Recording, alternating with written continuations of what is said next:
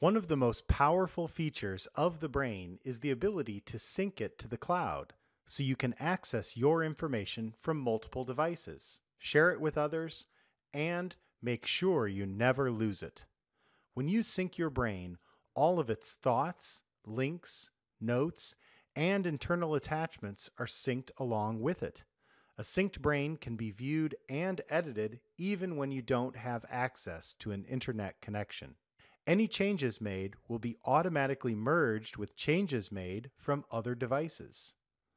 When you create a brain, it is only available on your local computer. You don't have to sync it if you don't want to. Notice on my brains list that I currently have three brains available two that have been synced, and one that is only a local brain. To make this brain available from the cloud, I'll click the sync button and confirm that I want to upload this local brain. Once you have uploaded your brain, future changes will be synced automatically.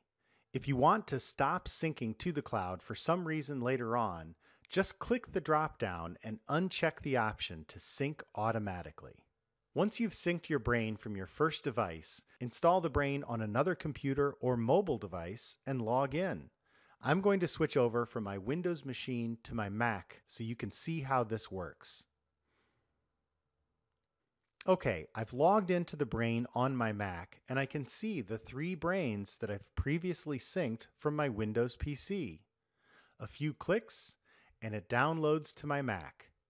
Now, when I make changes on either machine, they'll appear on the other within a few minutes. If you want to see the status of your brain compared to the version on the cloud, click the drop-down and it will tell you if there are changes.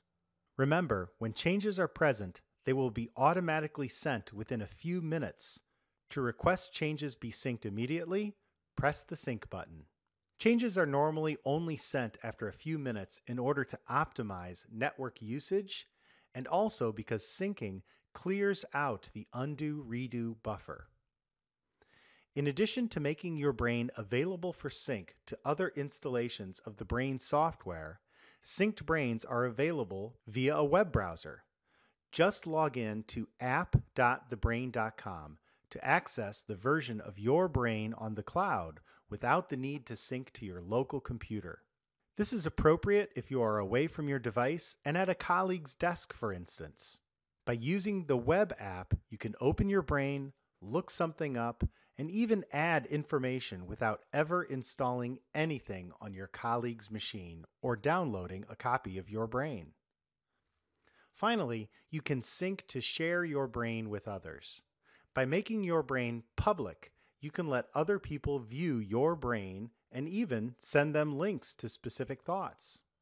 If you'd like to build a brain for a group of people to use together, subscribe to Team Brain Services to enable your entire team to collaborate on a single brain.